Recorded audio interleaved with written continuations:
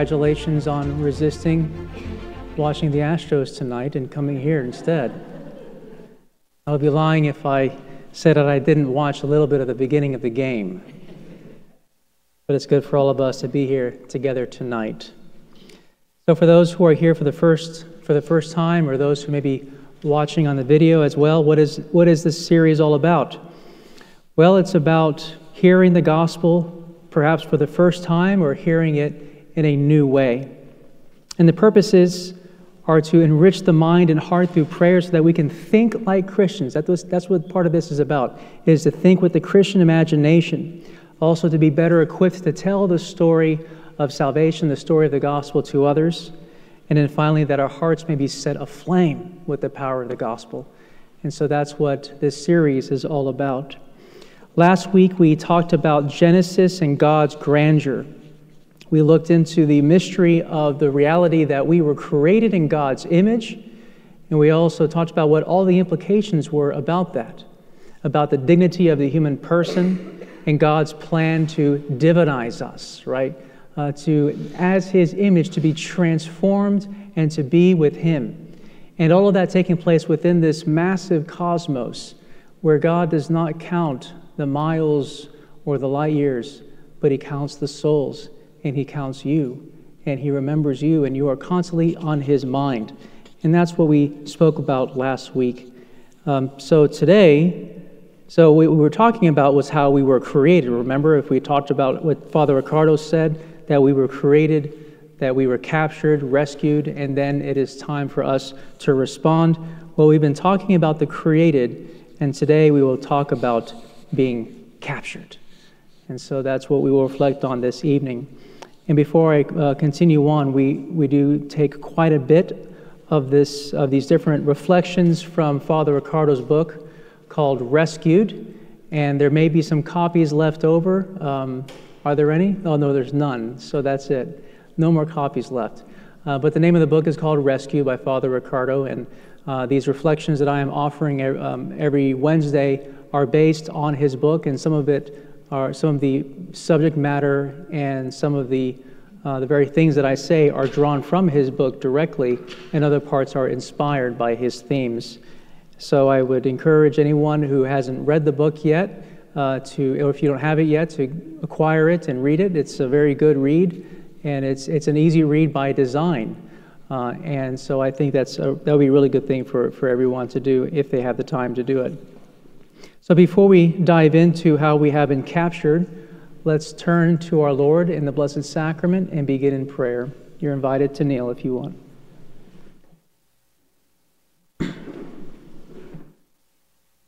In the name of the Father, and of the Son, and of the Holy Spirit. Amen. To you, O Lord, we give thanks and praise for the glory of this evening. We thank you for the grace of salvation that you have given to us by the shedding of your blood on the cross. We ask you, O Lord Jesus, to send forth by your breath the Holy Spirit upon us with an, with an abundance of wisdom, knowledge, understanding, and good counsel. And let us have a deeper sense of appreciation of the salvation that is offered to us by having a greater sense of the great danger of eternal condemnation so that we may not be tempted to despair, but may enter into the glory and the praise that is yours in eternal life. We ask this in your most holy name. Amen. In the name of the Father, Son, Holy Spirit. Amen.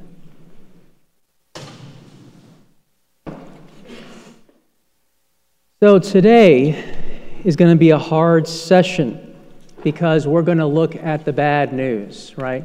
And because this is a session that is drawn out over many weeks, we're not going to talk a whole lot about the good news this evening. I trust that you already know what the good news is, right? It's Jesus. Okay. We're going to talk about it. We're going to talk about the bad news, and Father Riccardo calls it horrific news. As I said earlier, it's the news of our capture. And this news this evening is meant to give us a sense of horror. But even in the book, Father Riccardo says that we can even ask for the gift of despair. Now, it doesn't literally mean for us to despair, but rather to have a sense of the very stuff that would bring us into despair. And that's the reality of how we have been captured, how we had been captured. But we must always remember hope. And that also one other thing that's very important. And this is a challenge for the preacher because the preacher, the priest, wants to preach the fullness of the truth to the people, right? But sometimes we kind of shy away from talking about how we have been captured, and that is by the devil. We want to shy away from talking about hell and eternal condemnation because it is such a tough topic. But the problem with that, of, of holding back and preaching about it and letting people know about it, is that God Himself revealed it, right? It's all part of revelation. God Himself revealed the reality of the devil, of eternal condemnation, of, of hell, of the danger of condemnation. And so that's why it's so important for us to go through this tonight. And so, what this means is that the Lord wants us to open up our minds and our hearts to His grace as it is revealed in the bad news that is part of the good news. Huh? That's part of the good news. One insight from Father Riccardo, he says that the scriptures, that the scripture is like game film. So as we go through the sacred scriptures tonight, a lot of it is going to be co- coming from Genesis, which is all written in the past tense, as a story that happened in the past. But Father Riccardo makes the really brilliant point that scriptures don't just tell us about what happened, but also tells us what is happening, what actually happens to us because we have all been created in God's image, just like Adam and Eve, and we all have entered into this life in the state of original sin as their descendants. So we're all subject to these same kinds of tactics, these same kinds of temptations, these same kinds of struggles. So, following through, uh, following quite a bit from Father Riccardo's book, we're going to look into and expand upon the following aspects of how we have been captured. That is, the following aspects about how we have been captured by the devil. The first is that we'll talk about the identity of the devil. Who is the devil? What is he? We're going to talk about his reason for rebelling. We'll talk about what his different names are. What, are, what is his root strategy? We'll talk about his tactics, and then we'll reflect very briefly on his goal for our lives. This also answers the question, if you remember those fundamental questions that Father Riccardo goes into, right? Why is there something rather than nothing? Why is everything messed up? What has God done if He has done anything about it? And how am I to respond? And tonight we begin to answer the question why is it all messed up, right? What's the deal with sin and its consequences? As sort of a preface to, to my remarks, I want to also uh, highlight something that would be very important for us to understand because probably what I'm about to say you've heard before. Recent theologians of the past 100 years, influenced by the sciences, have denied the reality that the devil is real. Have you ever heard that before, where some say the devil isn't real, right? Uh, they say that, for example, demonic manifestations that seem to be demonic, they actually find their root in prosaic regular, natural explanations. They would say that there would be psychological manifestations in these cases of exorcism, or when one is struggling with obsessive thinking, that they're all psychological manifestations. And even though that might be true to, certain, to a certain extent, psychological manifestations cannot lead a person to levitate, to climb up walls, to throw men around the room, even if they're twice their size or to speak ancient languages. None of those will you find in the manuals of the psychological sciences, right? It's just completely irrational. Also, the idea of the demonic, there's this other idea that the idea of the demonic developed in the ancient world under the influence of pagan religions. And so they say that Jesus himself speaks of the devil only as a way of adapting to the culture of the time. And so the devil really is just a personification of evil, and Jesus speaks about the devil to adapt himself to the culture of the time.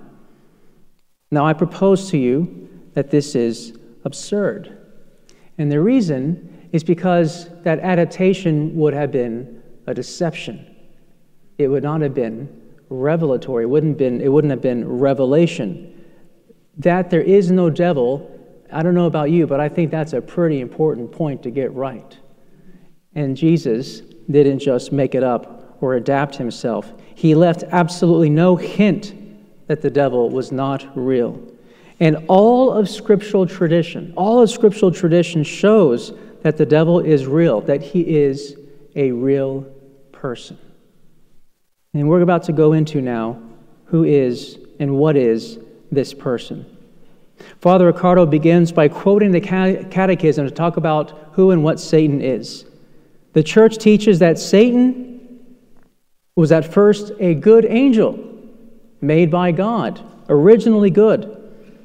The devil and the other demons were indeed created naturally good by God, but they became evil by their own doing.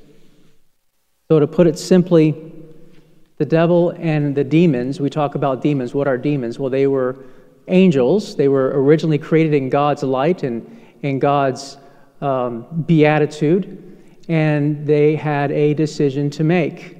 Were they going to do his will or not?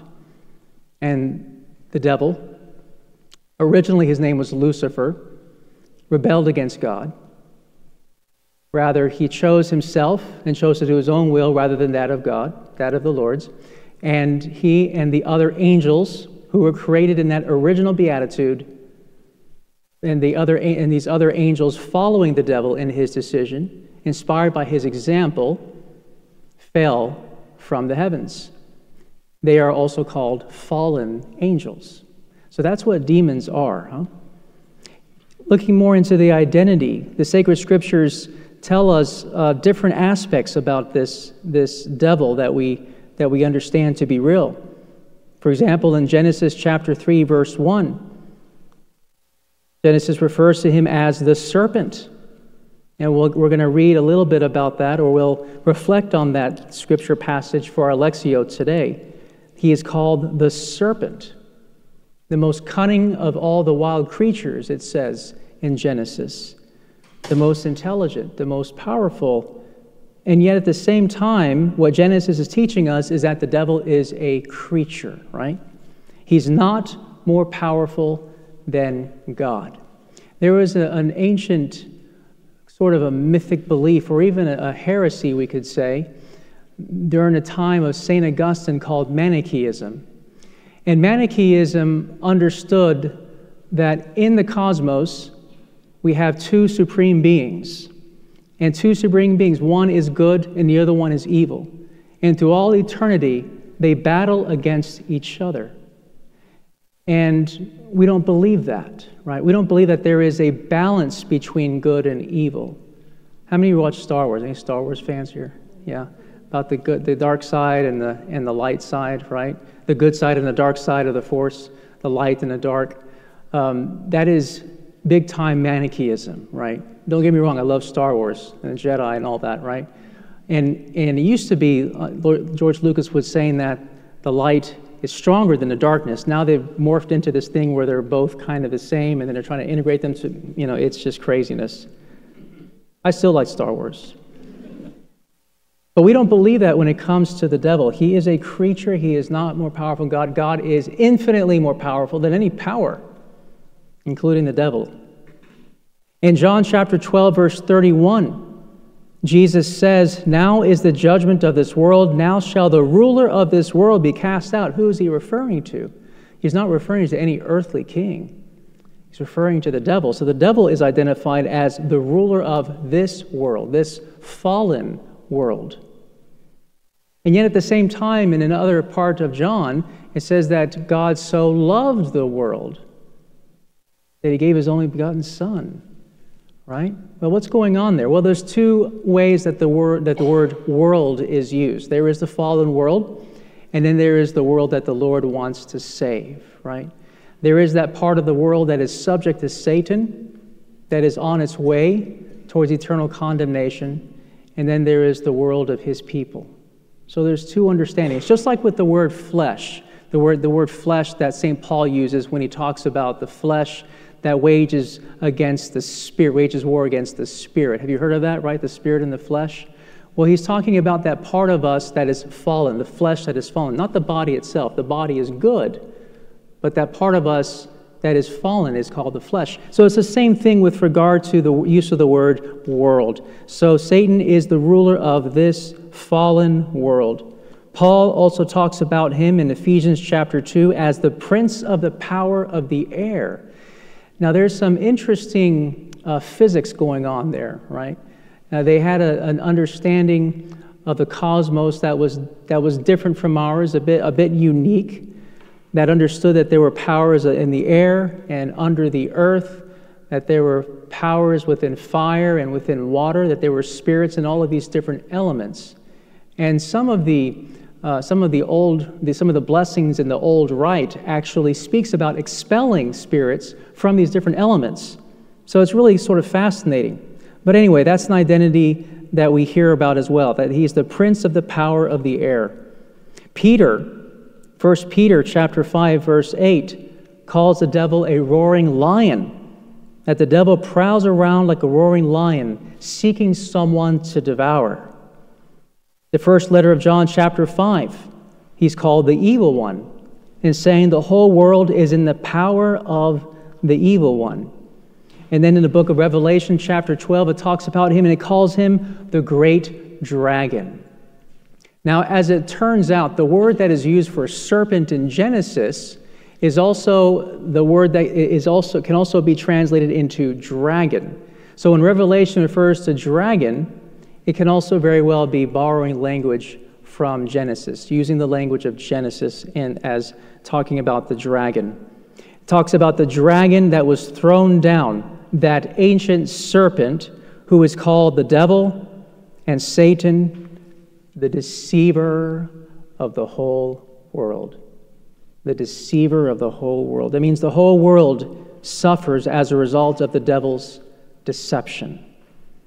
It also says, and, and this is something, this is a, a side point that I want to make that I think is interesting, but I've heard this from some scholars and uh, as well as some priests who are exorcists, where they, where they talk about that part where it says that the, that the great dragon, with his tail, swept a third of the stars from the sky. That's in, that, that's in Revelation as well. And the stars from the sky, many scripture uh, scholars interpret that to mean the, the angelic beings, the angelic hosts, right? A lot of times, stars and angelic hosts, those images were used almost simultaneously. But what would that mean? That would, that would mean that, that the devil swept down a third of the angels with him by his influence, by his scandal, by his evil example. Now, what that actually means, if you do the math right, how many thirds are there in a, in a whole? Well, there's three of them. So you have one third, then that means that two thirds of the angels remained faithful. So if I get my math correct, that means that there are twice as many good angels as there are fallen angels. Thanks be to God for that, right? Now, if you think about it also, there are some who say that there may be billions of angels. They may number in the billions. St. Thomas Aquinas would say, on the order of nature, angels are more excellent, more beautiful, more powerful than human beings are in the order of nature. And so it is part of God's nature to create more of that which is more excellent and beautiful.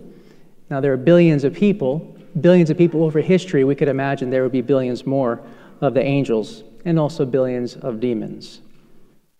So we must remember that the devil is a powerful creature, far more powerful and intelligent than we are.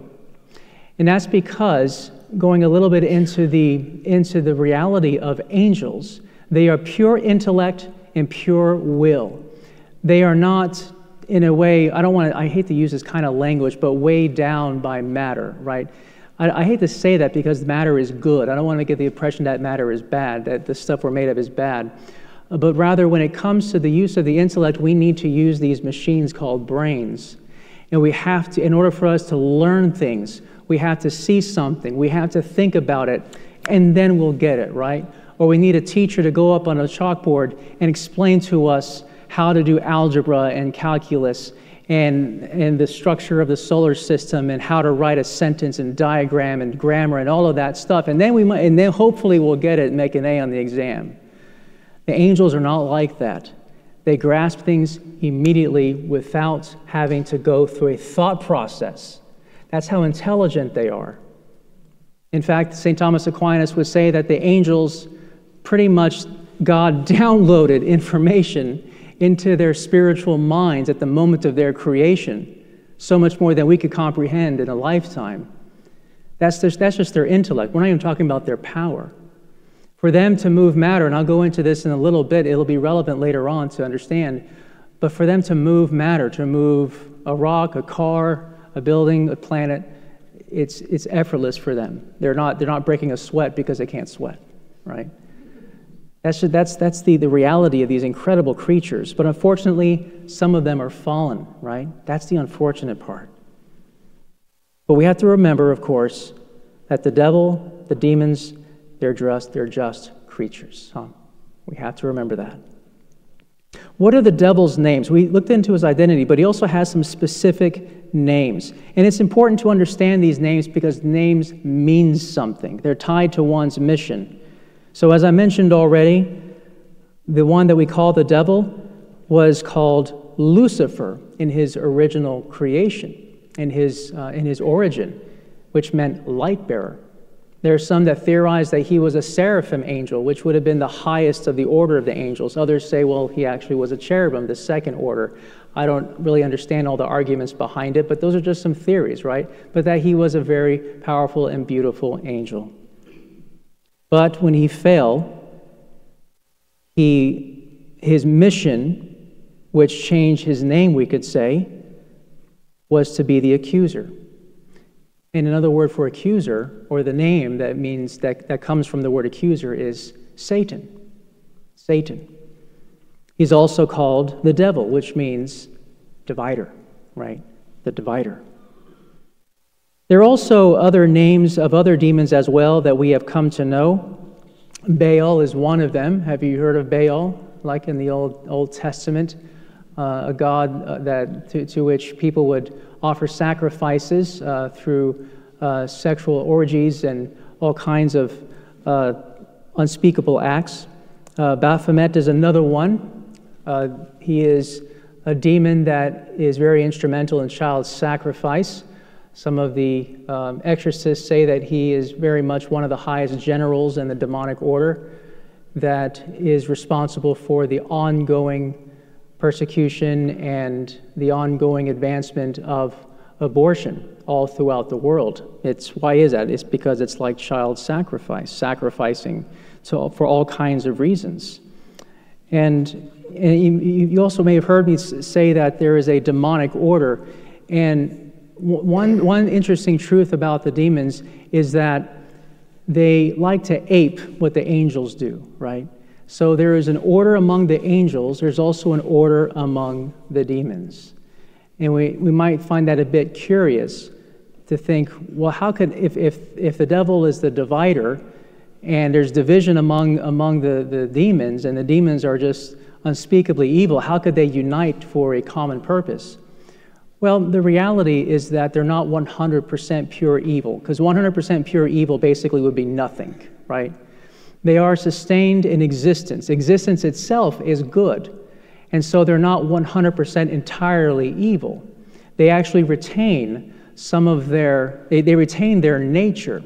So, like I said, their intelligence and their power, they, they've retained that. Also, their ability to work together and to collaborate. Remember what Jesus said when he was being accused of expelling demons by the power of Beelzebul. Remember that? And what did Jesus say in response? He said, Well, the devil isn't real. I'm just kidding. He didn't say that. No. What did he say? He said, if, if the devil is fighting against his own kingdom, how could his kingdom stand, right? If I am expelling by the power of Beelzebul, then that means that Beelzebul is fighting against himself. what he's saying is that doesn't make any sense. Doesn't make any logical sense.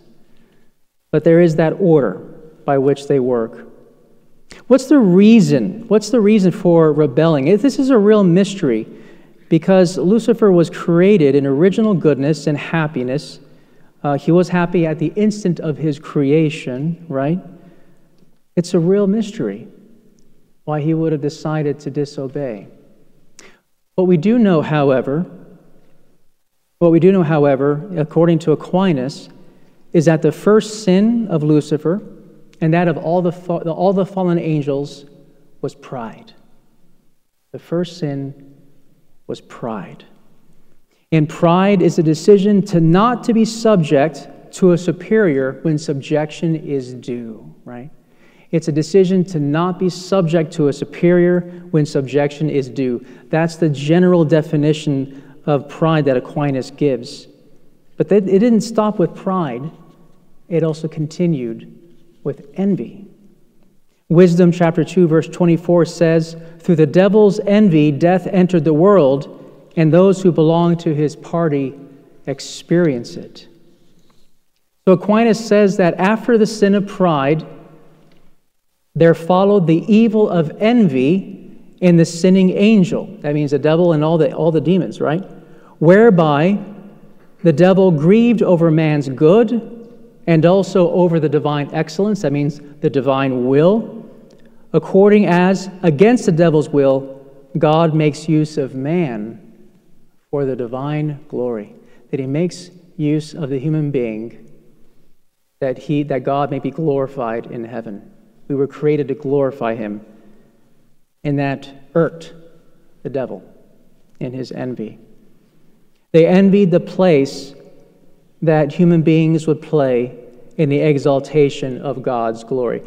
Now, St. Thomas Aquinas talks about how there is a debate about what was revealed at the moment of the angel's creation. And by the way, it wasn't like their fall wasn't like it was for us. Like for Adam and Eve, they were created, they were given all the fruits of the tree in the Garden of Eden. They enjoyed it for some time. They probably walked around and had a mango here and there. You know, I don't know, whatever kind of fruit was there. And then at some point, they encountered the serpent. But for the angels, the theologians say, they were actually given all of this information, all of this enlightenment and wisdom and knowledge of what God's plan was for all of the creation of the material universe and also the creation of human beings. And they also, also God communicated to them what their role would be in the life of the universe and in the lives of these human beings. And so at that instant, that's when they had a decision to make, right? Am I, am I down with this plan that God's telling me? Am I also, am I also all, am I going to go gung ho for what God wants me to do for whatever assignment I'm supposed to have? For example, your guardian angels, right? At the moment, at the instant of their creation, they were told, you're going to go be Stacy's guardian angel, right? Or Rachel's guardian angel, right? Yes, the angel said. Absolutely, let's do it. Sounds good to me. Glory, glory to you, O Lord. The debate, however, is about did God plan to become one of us in the beginning. Before human beings were even created, before there was even sin, did the Son of God want to become one of us? Did he want to become incarnate? Was he going to join with our human nature? And if that is the case, if the answer is yes, then the devil and, and the angels, the fallen angels, would have in their pride rejected the plan because they would not want to bow down and worship the man God. That God would assume an inferior nature to them would outrage the pride of the demons. Something interesting to think about. There's no dogmatic proclamation on it, but I think it's something interesting to think about. But in any case, God was showing that these creatures that are inferior to you are going to give glory to me, and you're going to serve them, right? Another, I heard from another exorcist, I think this was Father Ripperger, who's um, actually an exorcist that works in Denver, when he said that as he was doing a certain exorcism, sometimes an exorcist can command a demon to speak the truth, to say the truth about whatever it is that the, that the exorcist is demanding that the demon say. And in one of these exchanges, a demon revealed to Father Ripperger that the devil also envied the Blessed Virgin Mary, the most beautiful and exalted above all angels and saints. She's called the Queen of Angels, right? She's exalted even above the angels. And that the devil envies the Blessed Mother because of her incredible beauty. Beauty that he doesn't possess, and even his own beauty he lost as a result of his disobedience. Okay, so those are the reasons, what went into some of the reasons for his rebellion. Well, so again, I, I, like, and I like to think of it this way before I continue on. Why did the devil rebel? Why did he refuse God in that original happiness? We can ask the same thing, the same question about Adam and Eve, but at least with Adam and Eve, we can say, well, they were tempted. But there was, there was no outside force or another beings making suggestions to the devil or to the, to the other fallen angels to say, did God really mean what he said? Right? No, just on their own, they made this decision. That's one of the reasons some theologians say why they don't get the benefit of mercy. That God was never merciful to the angels because they had absolutely no excuse, whereas God had more mercy on, on human beings because of the influence of the devil and because they're just not as bright as angels. Interesting. But going back to that question, why would he do it? It doesn't make sense. And maybe that's the point. Evil doesn't make sense rejection of God's will ultimately is illogical, unreasonable. So, what are the enemy's root strategies and tactics? Well, Father Riccardo points out that one of his root strategies is that he tries to convince us to deceive us, right? The deceiver of the whole world, as we heard in Revelation. He tries to convince us that God is not a good father, but instead he is our adversary. We're going to read in Lectio where the devil says to the woman, Did God really say, You shall not eat of any of the trees of the garden? Now, what did God actually tell Adam and Eve? He said, You can, have, you can partake of any of the fruit of the trees in the garden, just cannot eat the fruit of the tree of the knowledge of good and evil, right? But here comes the devil. and He says, Did he really say that you can't eat any of the fruit? Well, part of the deception is to, is to make one think that obedience to God is onerous, right? It's onerous. It's kind of like if you tell a young child that you can't, you can't stay out past nine o'clock, you can't play video games until you've done your homework, you can't do this, you can't do that. And what do they sometimes say? Ah, I can't do anything. well, no, you can. You can play games after you do your homework, right? No, I can't do anything. It's the same thing with the, with the evil one, what he's trying to convince Adam and Eve, or at least here in the conversation with Eve. Did he really say you can't eat any of the tree, any of the fruits of the tree of the garden? But the serpent said to the woman also, when the, when, when the woman says, no, he didn't say that. He actually said that we shouldn't even, we, should, we can eat of any of the fruit of the trees in the Garden of Eden, but we should not even touch the tree of the knowledge of good and evil, or we will die. And the serpent said to the woman, You will not die. You will not die. For God knows, and He's keeping it secret, God knows that when you eat of it, your eyes will be opened and you'll be like God, knowing good and evil. Now, I'm going to get ahead of myself here in the story, but I'm assuming that most here are, or all of you here are familiar with the story of Genesis. But what happens when they actually eat the fruit from the tree of the knowledge of good and evil? When they eat it, it says their eyes were opened. And then they saw that they were naked. Right? So the devil wasn't telling a complete lie, just enough of the truth with a twist that ends up being spiritually fatal. Right? And that's how he plays on the mind of the human being. Just enough truth that it makes some sense, but with a twist in order to deceive.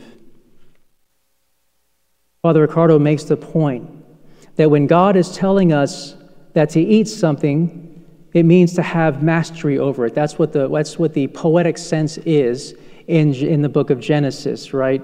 In that part of the story. It means to have mastery over it. And if God's creatures eat from the tree of the knowledge of good and evil, it means that they are appropriating for themselves the right to determine what is good and what is evil, right? So the devil is really saying, if you try to be like God, you're not going to die. You're going to be like Him. You're going to be able to determine good and evil. You're going to be able to know the difference between good and evil. Not the difference between good and evil, but to know good and evil, to determine it. To put it another way, if you know good and evil, you know everything, right? So God is really saying to them, it's not for you to know everything. But the devil says, yeah, it is.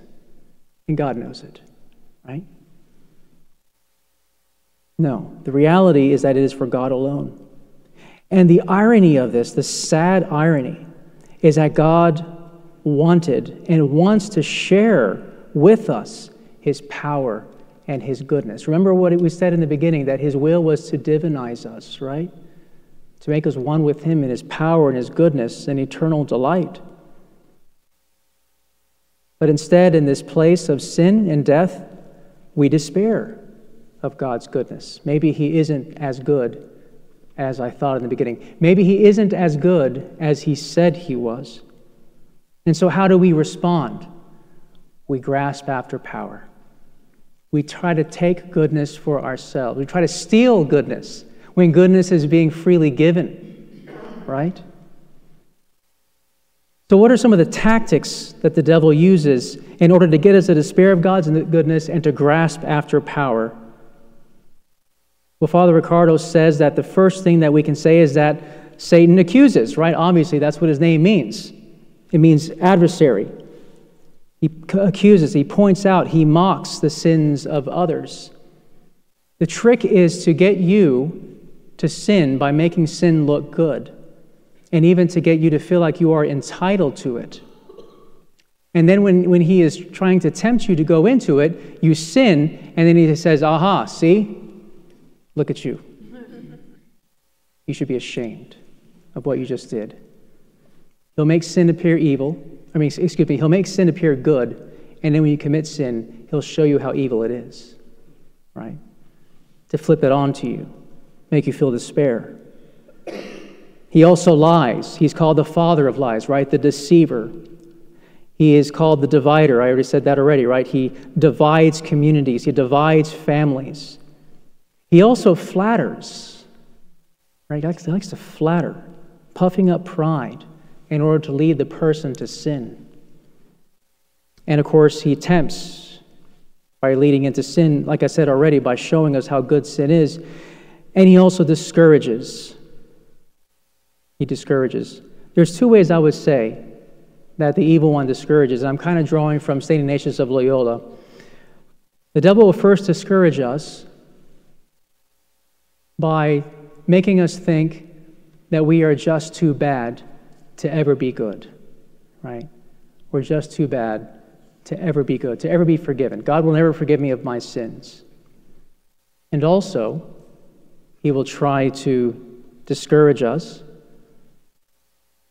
so that when we actually commit the sin, to actually tell us that it wasn't as bad as you thought, right? It's not as bad as you thought. You're okay. To discourage from repentance. And going back to the flattery as well, while I'm thinking about it, does he not also make us think that we are so good that we can never do bad? Is that not another deception? Anyway. Now, here's, a, here's an interesting track that we can take with St. Thomas Aquinas by asking the question how exactly does the devil and his minions do all of these things? How does he do all of these things? Right? Does he, does he whisper? Does he, what, what, what, how do they do it? Well, we can go back to what St. Thomas Aquinas talks about with regard to what angels can do. And what angels can do, naturally speaking, is that they can actually move corporal things. I talked about already. I remember hearing a story of how someone was in the car with her husband and they were driving down the road. her husband wasn't paying attention. He was looking off to the left, and there was a big pile of rocks that they were about to crash into. And at the instant that, that the woman saw that they were about to crash into the pile of rocks, she instantly called out to her angel. And at that moment, the car lifted right up off the ground, went over the pile of rocks, and went down onto the road, and they just continued on their way. Right? The angels can do that. But they can also do this, as St. Thomas Aquinas says, they can also do this uh, on people as well. They can have this kind of effect. Now, something that's very important to say at the very beginning is that neither angels nor demons can directly influence the will. They can't touch your will. That's, that remains immaculate, that remains untouched. Only God can actually change your will, and He doesn't do it. He doesn't do it. He doesn't actually touch the will. He allows us to make decisions freely. However, the angels and the demons can influence the will directly. And they can do this through moving the imagination. Now, where is Aquinas getting all of this? That angels and demons can do this and that? Well, he's drawing it from Scripture. If you look all throughout his Summa, like the, the vast majority of it is just drawing from the sacred scriptures, examples from the scriptures. And he's drawing from where the angels reveal divine truth and also commands through dreams, such as in Matthew chapter 1, verse 20. Right? What happened there? Joseph was dreaming, and the angel spoke to him in a dream and warned him about Herod and how he was going after all of the babies in the area, right? That they were seeking to kill their child. That was warning Joseph. How does an angel do that? Well, again, they can, they can move corporal beings, so they can move the imagination, right? If we understand the imagination and how it works, we know that, it, that we have these neurons and these brains, right, that are constantly firing. And we know that, that our imagination, how we see things, how we're able to see things with our eyes and also with our mind, it's connected to our brain. And so, in some kind of unsettling way, angels can touch that stuff. I don't know about you, but I think that's unsettling. But the angels help. They also help. It's like, all right, fine, do what you need to do, right? Move the imagination. Help me out here. St. Thomas Aquinas also says that they can move the passions, move the emotions, the hormones within us, you know, lead us to feel certain things. And of course, they can move parts of the body in the most extreme sense, in the most extreme cases. He also says that the angels can affect the senses, that they can do this from the outside. So they can affect the imagination, but they, also, uh, uh, they can also affect the external senses. So, Genesis chapter 19, verse 11, there's a story of Sodom and Gomorrah, where the citizens of Sodom were going to try to break in to the house of Lot in order to attack him and his children.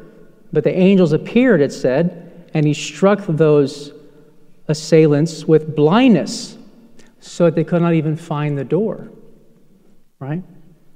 They can also do this from the outside by assuming some kind of a body, like an apparition, like the three angels that appeared in, in human form to Abraham and Sarah. Or, of course, they can also do this from within by manipulating the body itself. I like to think that the angel Gabriel, when he appeared to the Blessed Virgin Mary, did so externally. I don't know why, but I, I just like to imagine like that. Maybe because that's how it's painted, so that's how it happened, right? Now, there are levels of activity by which a demon can influence us by varying levels that get more and more intense and disturbing.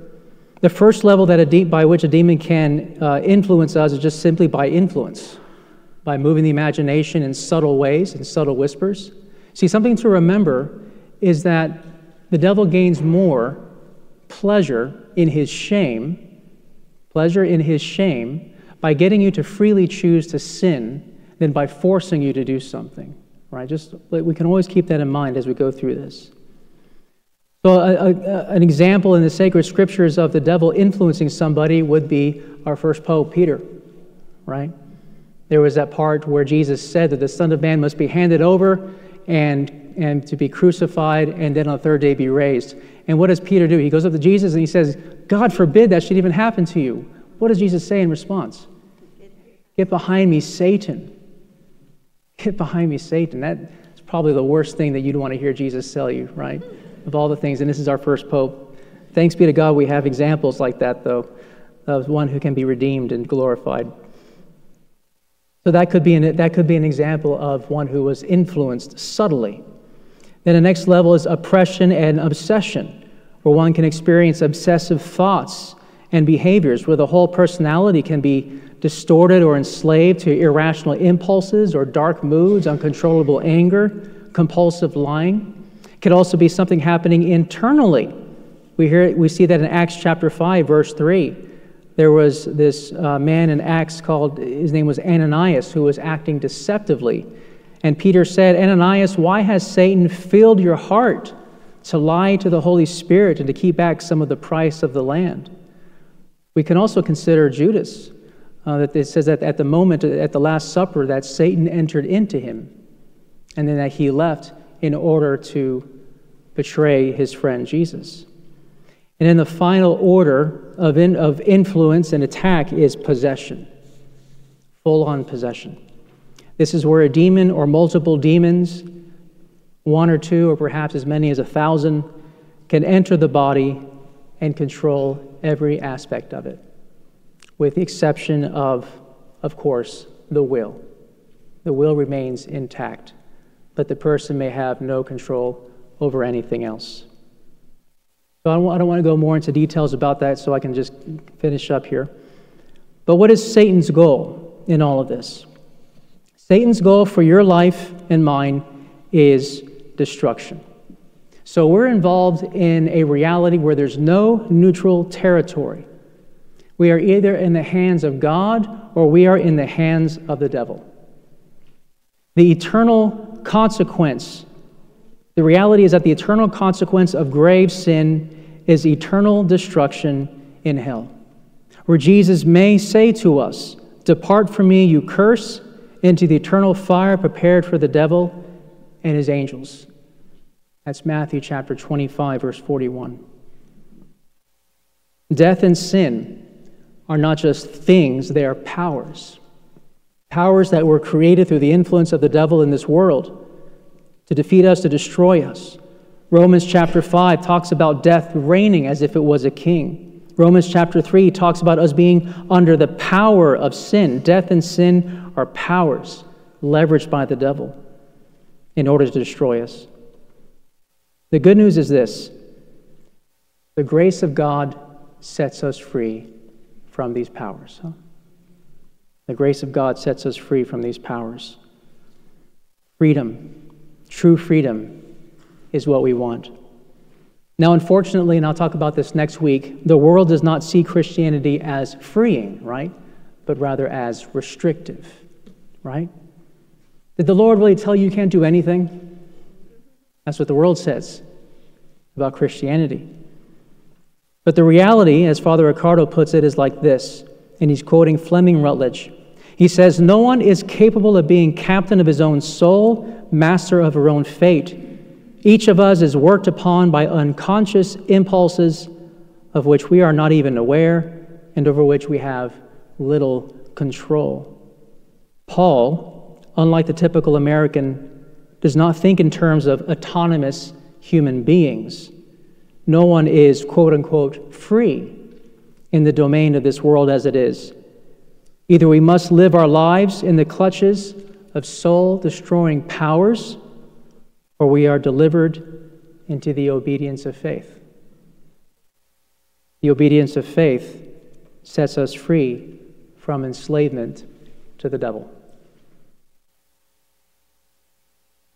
I'll go ahead and open up now to any questions you might have.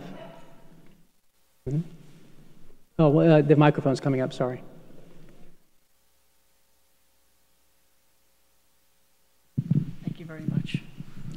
Father, I just want to thank you for another wonderful presentation.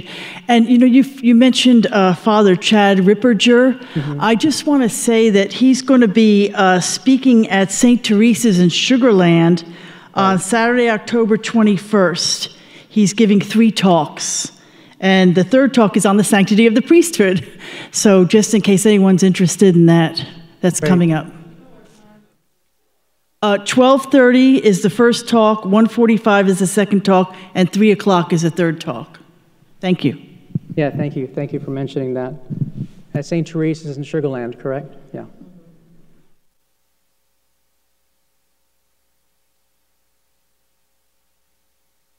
Any more questions?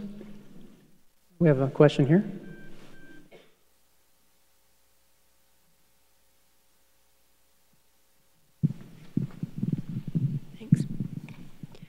Earlier, you mentioned something about abortion and how it has this country in a clutch from the influence of Baal. Is that what you Uh, said? Baphomet. mhm. Okay. Um, and a lot of, I guess, counter arguments people like to make when it comes to something as horrible as that is, oh, what if it was rape or incest? Mhm. Given that, um, that Mhm. that almost never happens, you know, in comparison to when, oh, well, I'll just do it. What can be said when it comes to, um, I guess, arguing against Hmm. it in that case? Yes. You're talking about, the- so in the case of rape and incest, what, what would be the, uh, if somebody were to say, well, what about in those cases? Would an abortion, should, shouldn't that be allowable or shouldn't that be okay in that case? Is that the question? N- not necessarily. I mean, I don't really know how to ask this question without Huh? sounding insensitive on either one end because I've talked to people um, and uh, been called kind of, I mean, insensitive about, uh, you know, what I think about it. But I mean, what can be said when it comes to fighting for life in No that fighting point? for life. Like in those cases, you're, you mean? Is that what, yeah? Yes. Yes. Um, well, I think, of course, first and foremost, you know, what, what, what are the tools of the devil, right? In, in how he leverages this? It's in, it's in deception and in hatred, right? And so we respond by love and truth always and, every, and everywhere as Christians.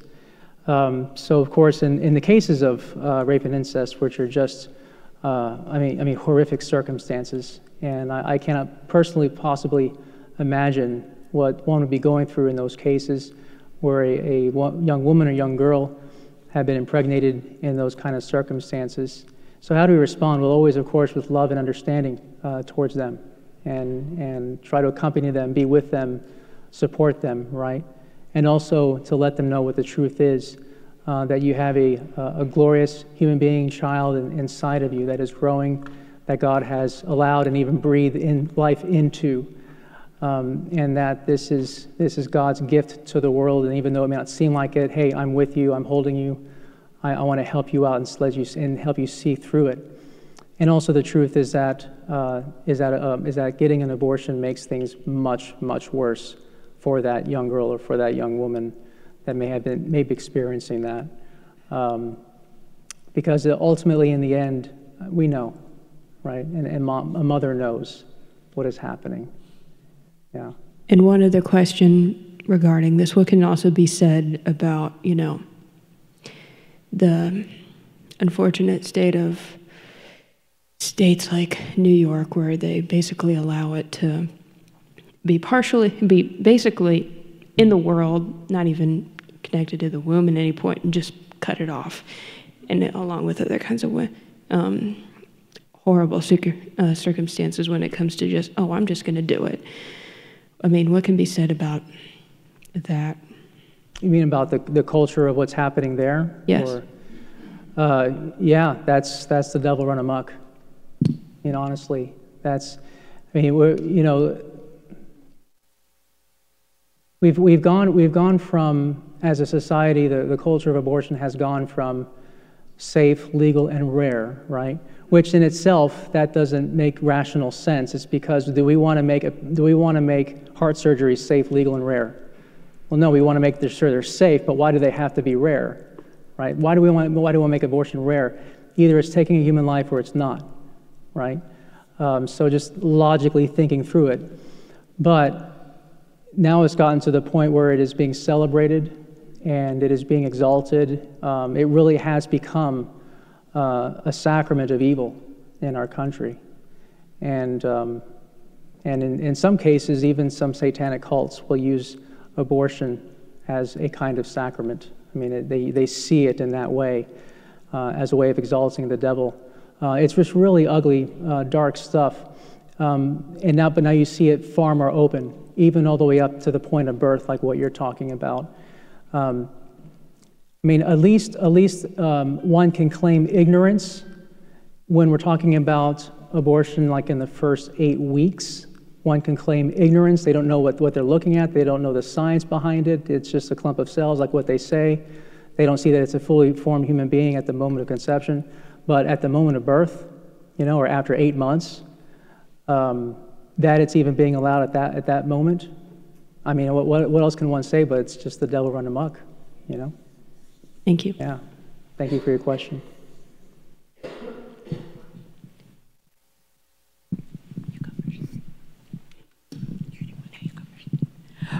I was just wondering uh, when you mentioned about the cults, what can we as as humans and what can what is the church doing to help um, overcome? I guess is the word for some of the cults and religions that are blossoming here in the United States and probably in other countries, obviously from the killings that we're seeing now, mm-hmm. that is all evil. Right, and right. so, what can we do besides prayer? Is that, I mean, that's a lot, but mm-hmm. is there anything that is happening specifically to fight this? Um, I would say, well, of course, first and foremost, you mentioned prayer already, right? Uh, there are prayers of reparation that one can make. Uh, prayers like, for example, the the divine praises, those, that was originally called prayer or act of reparation because it was making a, a, reparation for all the blasphemies against, against God Jesus Christ and the Blessed Virgin Mary and Joseph. Um, so making acts of reparation, doing acts of penance, because ultimately, I mean, we, li- we live in a free country, right? Uh, free and, and more the sense of autonomy and not free in terms of actual freedom and, and virtue.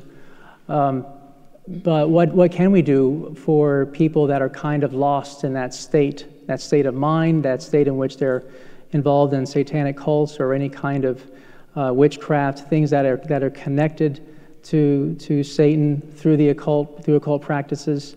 What can we do except pray for their conversion, right? And also to educate and to protect ourselves as well. That's why I, I know that there has been there's like two schools of thought on how to handle this when it comes to young people. Like, do you tell them not to play with Ouija boards, or, or should you tell them not to play with them, or you should tell them, or should you not say anything? Right? Because if you say something, then the first thing they're going to do is they're going to go play with the Ouija board if you tell them not to do it, right? Um, I'm more of this. I'm more of the, of the school of thought that Ouija boards are already out there. They're being sold at Walmart. Sure, go ahead and tell them. You know, tell them, educate them about, about these things. You know, I mean, at, at age appropriate levels, of course, with prudence. Um, so I would say education, and the other, be, the other would be prayer. Um, and of course, the new evangelization. The reason why the occult uh, Satanism is blossoming, like what you were saying, is because of the vacuum of faith, especially in the public square. And when you have a lack of faith in the public square and in public life, the vacuum has to be filled with something else. And it may, I mean, I think what we're talking about with New York, right? What's happening? There's a vacuum that's filling up what used to be a, a place of faith. Uh, it's being replaced with something else. And I'm going to talk about that next week when we talk about being captured by the world. Yeah. Um, being a new Catholic, I'm right yeah. here. Uh, I'm new to the idea of guardian angels. Could you speak to that a little bit? Um, like how, they, how, how are they assigned? I mean, um, is it scripturally like I don't know. It's just it's a it's a foreign notion to hmm. you know Protestant faith, I think. And um, so I just you know I, I have a guardian angel. Am I supposed to talk to the angel? I mean, I don't know. I don't know anything about it. But anyway, if you would just speak to that, I would be appreciative. Yeah. That's, um, yeah, there, there's a lot that can be said about it. There's, there's like books written about guardian angels and about angels in general uh, that, that I found they've been very good in the past. Uh, but there, there's a couple of things we can find. Well, first, in the sacred scriptures, Jesus uh, does talk about accepting children such as these, for I For I tell you, their angels contemplate the face of the Father in heaven. So, you know, he's talking about how these children are being guarded by angels. And there's just, and, and it's just also in the, in the tradition of the church that we all have guardian angels as well. And Aquinas talks about that as, as, uh, as well. And what we can do in our relationship with our guardian angels is, of course, to pray and ask for their help every day. And, and it's not that the angel's just going to sit back and kind of do nothing and wait for you to, to ask for help, right? Um, but it doesn't, it empowers them even more, right? Um, there's, there's something about you know, praying, asking help from the saints, where, they, where they're already praying for us already, but asking for particular help, that it kind of unlocks graces, right? It kind of unlocks uh, the action of the angel where he can get even more involved or she can get more involved in your life. Not that angels are he or she's, but you get my point. Yeah. Um, does that make sense? Or did I answer the question? Is there more than one? For each person, you mean? Yeah. How many do you want? you can ask for them. Yeah, um, I've heard I've heard a couple of things. I actually looked into this question. Um, I've I, I, have heard that we all have at least one.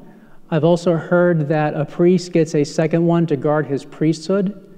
I've also heard that the Holy Father is has Saint Michael as his personal guardian. Um, so I've I've heard multiple things, but I don't see why there couldn't be more than an angel, more than one angel. But we do believe that everyone has at least one angel guarding them. Yeah.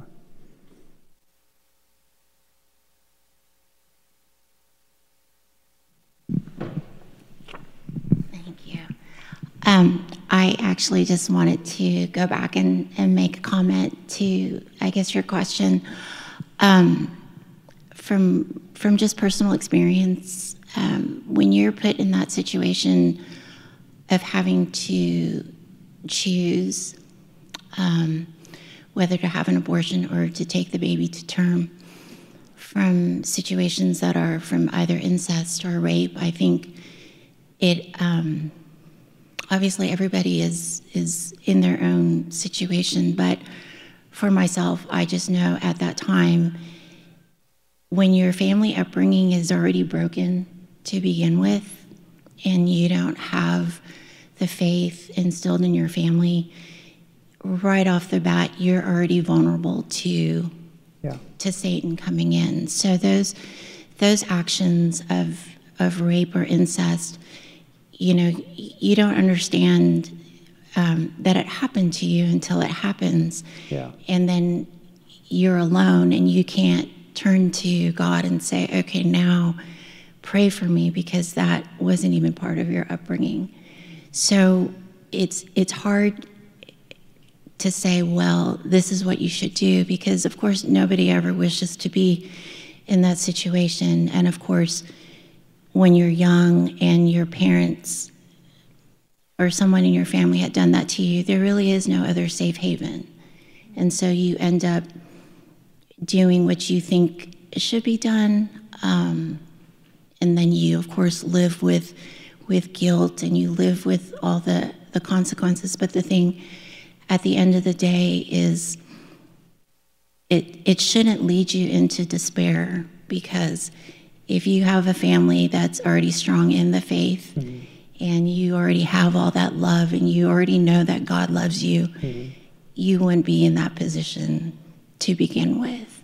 Mm-hmm. And so for myself, um, so when I te- when I talk to my kids now, it's a matter of you you put that faith in them early and so they know that their life is valuable. They know that they have worth.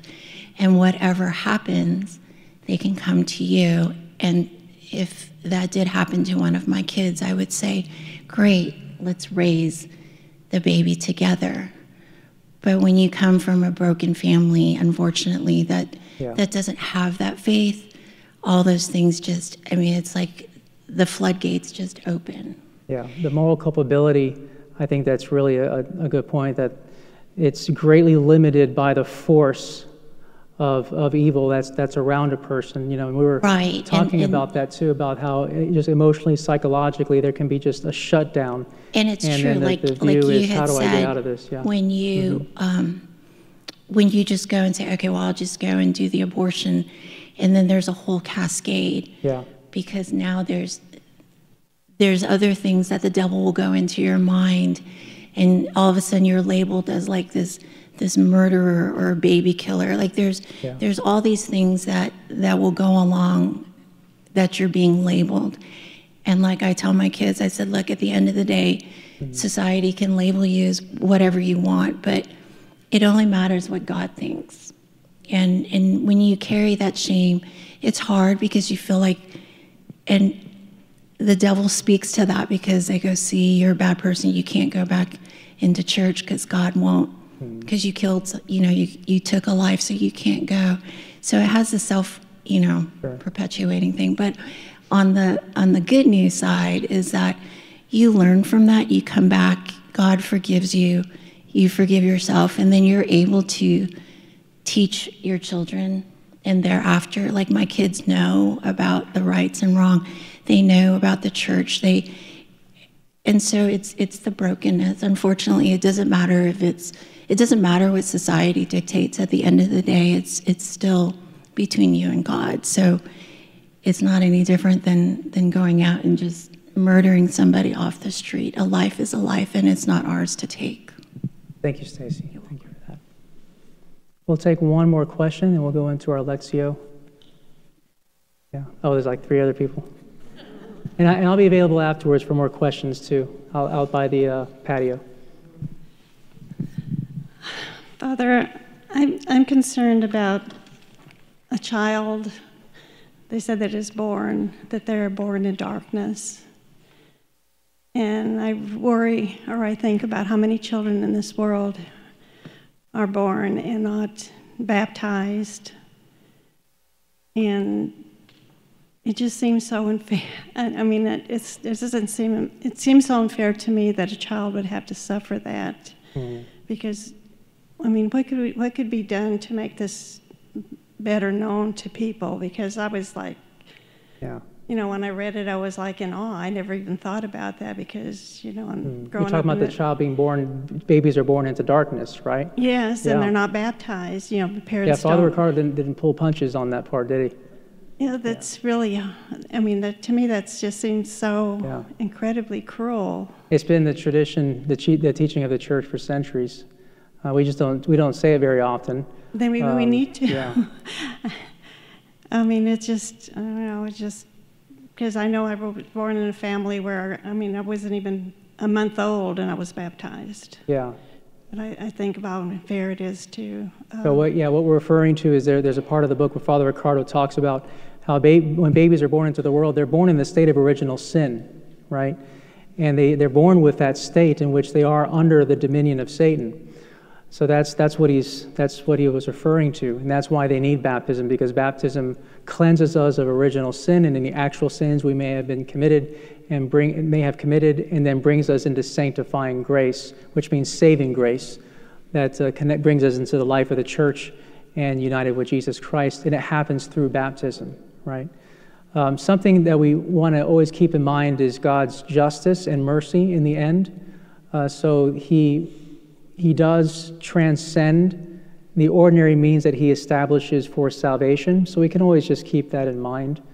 Um, so if a baby is born into the world at one month and the parents, for, for whatever reason, didn't get the baby baptized at that, at that point, you know, where does, the, where does the baby go? Well, we believe in God's mercy and justice in that, and that he would take that into consideration when talking about the culpability of the child who is completely innocent. Yeah. So. Stillborn, yeah, like stillborn cases, just like that, yeah. Now, they, and they talk about different kinds of baptisms, and this is like a whole other series, but you know, baptism of desire, bapti- actual baptism by sacrament, baptism by desire, baptism by blood. Um, you know, that the parents desi- the desire to have their baby baptized, right? But the baby passes away before, for whatever reason, can be baptized. That the child has received the graces of, the, of that baptism. Baptism by blood is when one desires to be baptized, uh, but they're martyred beforehand, which which should count for something, you know. Uh, so there's a baptism there, yeah. hmm Yeah, but no, but it, it is urgent, though, that, that children be baptized. That is nevertheless true. Yeah, and, and I like your question, you know, about how unfair it is for a child to be born in darkness. In other words, not just be born in darkness in this world, but also perhaps being born into a family that, that is not a family of faith, you know. But the same can be said of all of us. We're all were born into original sin. And who's responsible for that, right? Well, Adam and Eve, and our parents as well weren't, weren't perfect, you know. God is really uh, interesting. He's an interesting God, isn't he? Um, that he places a profound responsibility in, in our hands, each and every single one of us. You know, as, as parents, as a priest, right? As people that, in, that have influence on other people, you know, your friends, your family. It's really profound. What he, what, and he doesn't take back that responsibility, he takes it very seriously. Yeah. Hence the need for prayer. Good. All right, let's go ahead and enter into our Lectio, and I'll be around uh, by the wall, by the mural. We're going to be by the mural. It's nice and cool outside. And if you have any questions, I'll be happy to, to uh, talk to you out there afterwards. And next week, I will talk about, we'll reflect on captured by the world. And I'll be drawing from one of Bishop Robert Barron's presentations when he talks about the influences of the world. And, and then after that, then we'll get into the good news. So one more bad news session, and then we'll get into the good news for it. And then we'll, we'll launch into heaven from there. Okay.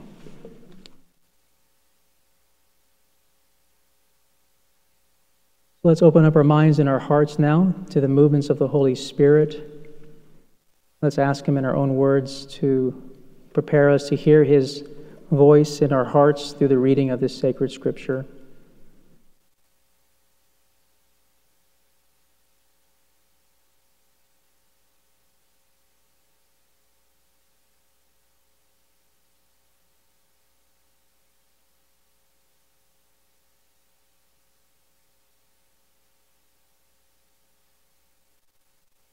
A reading from Genesis chapter 3.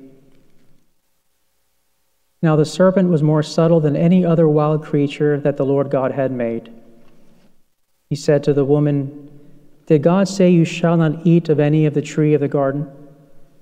And the woman said to the serpent, We may eat of the fruit, the fruit of the trees of the garden, but God said, You shall not eat of the fruit of the tree which is in the midst of the garden, neither shall you touch it, lest you die. But the serpent said to the woman, You will not die. For God knows that when you eat of it, your eyes will be opened, and you will be like God, knowing good and evil. When the woman saw that the tree was good for food, and that it was a delight to the eyes, and that the tree was to be desired to make one wise, she took of its fruit and ate. And she also gave some to her husband, and he ate. Then the eyes of both were opened and they knew that they were naked. And they sewed fig leaves together and made themselves aprons.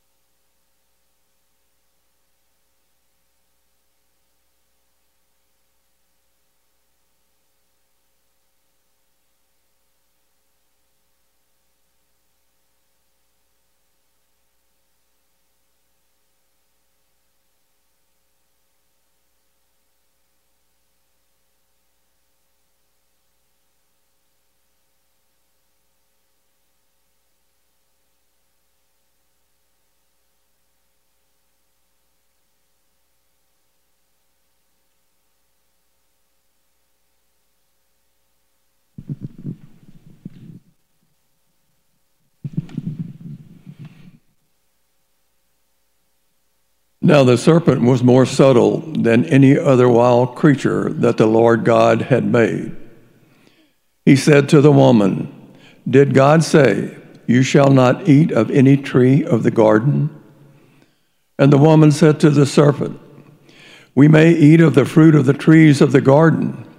But God said, You shall not eat of the fruit of the tree which is in the midst of the garden, neither shall you touch it, lest you die. But the serpent said to the woman, You will not die, for God knows that when you eat of it, your eyes will be opened, and you will be like God, knowing good and evil. So when the woman saw that the tree was good for food, and it was and that it was a delight to the eyes, and that the tree was to be desired to make one wise, she took of its fruit and ate, and she also gave some to her husband, and he ate. Then the eyes of both were opened, and they knew that they were naked. And they sewed fig leaves together and made themselves aprons.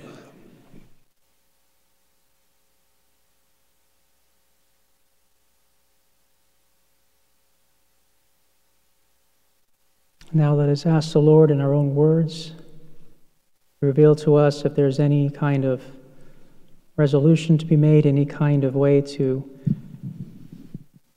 take action in our lives following from anything we may have received in this reading. Let's ask for his energy and enthusiasm to do his will.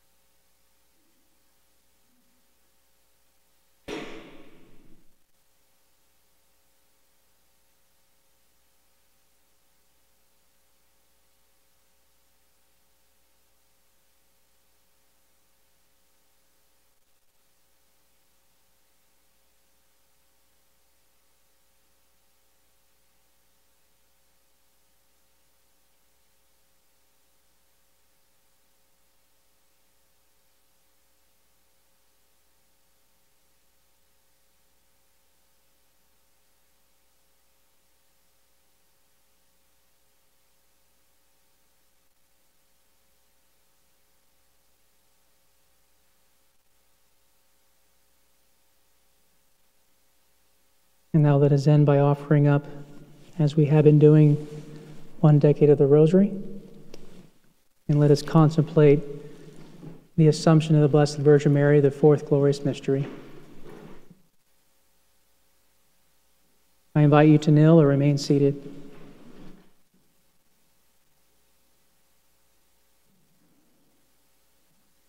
In the name of the Father, and of the Son, and of the Holy Spirit. Our Father who art in heaven, hallowed be thy name. Thy kingdom come, thy will be done on earth as it is in heaven.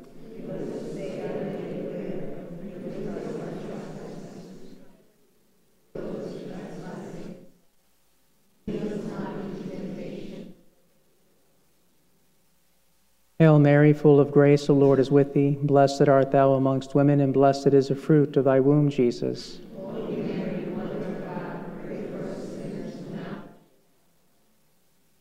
Hail Mary, full of grace, the Lord is with thee. Blessed art thou amongst women, and blessed is the fruit of thy womb, Jesus.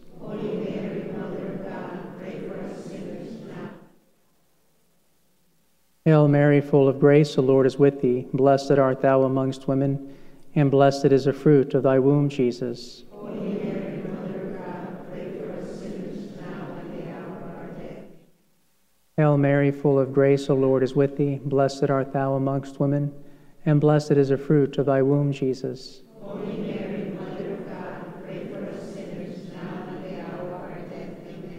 Hail Mary, full of grace, the Lord is with thee. Blessed art thou amongst women, and blessed is the fruit of thy womb, Jesus.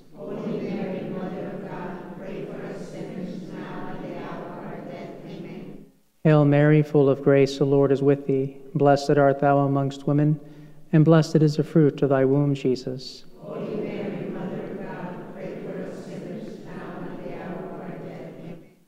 Hail Mary, full of grace, the Lord is with thee. Blessed art thou amongst women, and blessed is the fruit of thy womb, Jesus.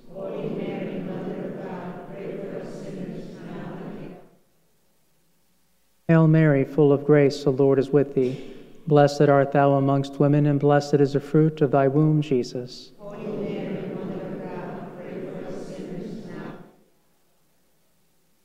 Hail Mary, full of grace, the Lord is with thee. Blessed art thou amongst women, and blessed is the fruit of thy womb, Jesus.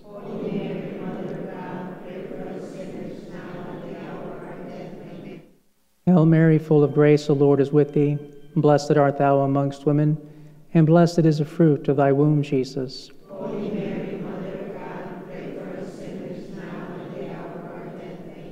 Glory be to the Father, and to the Son, and to the Holy Spirit.